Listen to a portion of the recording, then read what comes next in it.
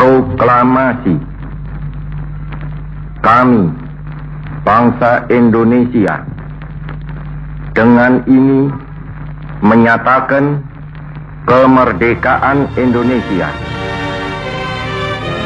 Hal-hal yang In the mengenai Royal Palace in Amsterdam, a new state is born. There to inaugurate it comes its first chief of state, Muhammad Hatta, Premier of the United States of Kami Indonesia. once adalah pejuang internasionalisme Indonesia. Kami penerus Bung Hatta, Agus Salim, Adam Malik, Ali Alatas, dan banyak lagi. Kami mewarisi etos yang luhur, pengabdian, perjuangan, kepedulian, kecemerlangan. Kami punya satu tradisi, yaitu mendobrak sejarah. Perjuangan kami tidak hanya mengubah nasib Indonesia, namun juga mengubah wajah dunia. Kami ikut menyalakan api kemerdekaan dan keadilan yang dengan dahsyat mengguncang abad ke-20. Kami mengobarkan semangat Asia Afrika yang menjadi cikal bakal diplomasi negara-negara berkembang. Kami melahirkan gerakan non-blok yang mengamankan dunia dari bahaya perang dingin.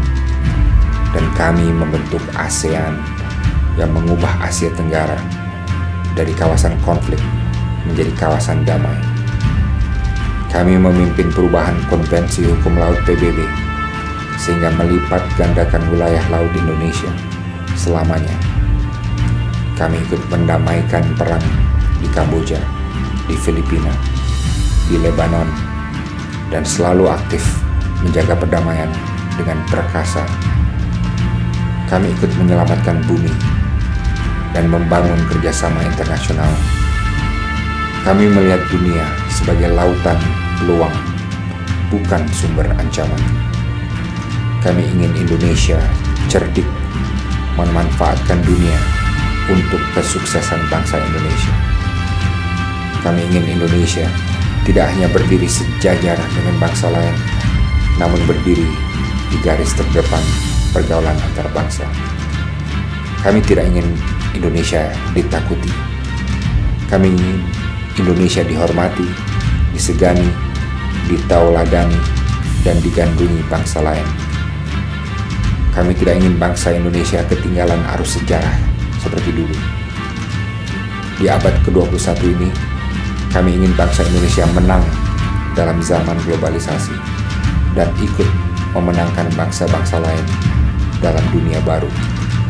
Oleh karena itu, kami, para diplomat, PNS, militer, atase, pekerja, mahasiswa, pengusaha, seniman, diaspora Indonesia di tanah air dan di seluruh dunia akan terus berjuang, berikhtiar, menjaga tradisi kepeloporan dan kecemerlangan di seluruh jenjang, di segala lini, di medan mana pun, untuk membuat lawan jadi kawan, membuat kawan jadi sahabat, untuk membawa dunia ke Indonesia dan membawa Indonesia ke pentas dunia, untuk meraih sejuta peluang untuk menjadi juara.